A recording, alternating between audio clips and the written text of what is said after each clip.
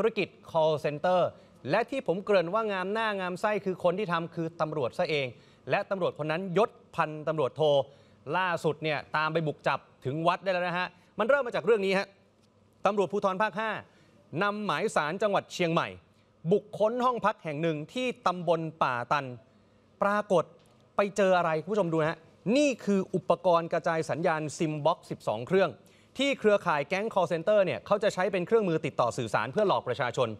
ไอ้เครื่องนี้เครื่องเดียวเนี่ยมันสามารถโทรออกไปนะ เป็นแสนแสนคนได้เลยนะฮะ แล้วเขามี 12 เครื่องคุณผู้ชมลองคิดดูแล้วกัน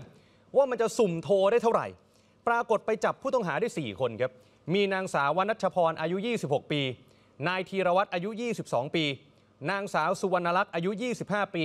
และหญิงชาวเมียนมาอายุ 25 ปี แต่ประเด็นมาอยู่นี้ฮะหนึ่งในนั้น เป็นลูกสาวของตำรวจ อ้าว แล้วตำรวจคือใคร พันตำรวจโทบัณฑิต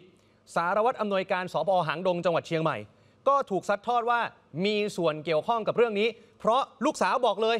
อ๋อ พ่อเป็นคนให้ทำอ้าว พ่อเป็นตำรวจ แล้วพ่อเป็นคนให้ทำปรากฏพ่อทำอะไรบ้าง ทั้งบงการจัดหาห้องเช่าไอ้เครื่องซิมบ็อกเมื่อกี้ พ่อที่เป็นตำรวจก็เป็นคนมาจัดไว้ให้ แล้วก็ติดต่อกับแก๊ง call center แล้วบอกให้ลูกสาวเนี่ยไปชวนเพื่อนลูกมาร่วมกันดูแลระบบตำรวจภูธรภาค5ครับก็เลยออกหมายจับพันตำรวจโทบัณฑิต ซึ่งก่อนหน้านี้ลาราชการไปบวชที่วัดแห่งหนึ่งจังหวัดลำปาง แล้วบอกว่าเดี๋ยวจะมามอบตัวในวันจันทร์ที่ 22 กรกฎาคมนี้ แต่ตำรวจไม่รอแล้วฮะกลางดึกของเมื่อคืนที่ผ่านมาครับรองผู้บัญชาการตำรวจภูธรภาค 5 สั่งการให้ชุดสืบสวนสพงาวจังหวัดลำปาง นี่ฮะไปจับพันตำรวจโทบัณฑิต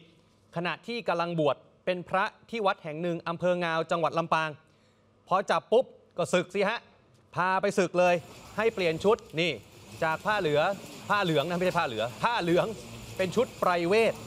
พร้อมกับอ่านหมายจับให้เจ้าตัวฟังต่อหน้าต่อตาเจ้าอาวาสซึ่งทางพันตำรวจโทบัณฑิตก็เหมือนจะน้อมรับแต่โดยดีครับ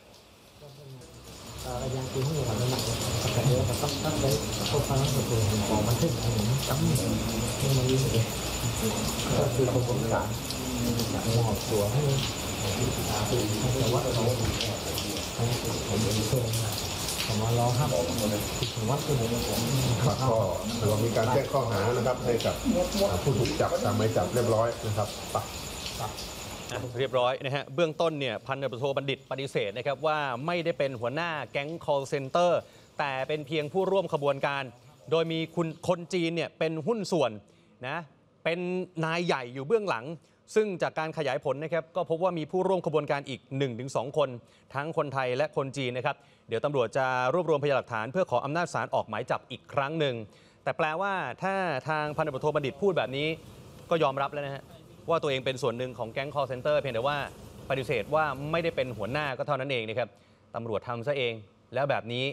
มันจะปราบได้ไหมล่ะฮะ แก๊ง call center ในประเทศไทยมันจะหมดไปไหมล่ะฮะตำรวจทำซะเองแบบนี้นะครับ ดูคลิปจบแล้วอย่าลืมกดไลค์กดแชร์กด subscribe นะครับ และที่สำคัญครับอย่าลืมกดกระดิ่ง จะได้ไม่พลาดทุกข่าวสำคัญกับสำนักข่าว One News เชื่อมั่นในข่าวมั่นใจ One News ครับ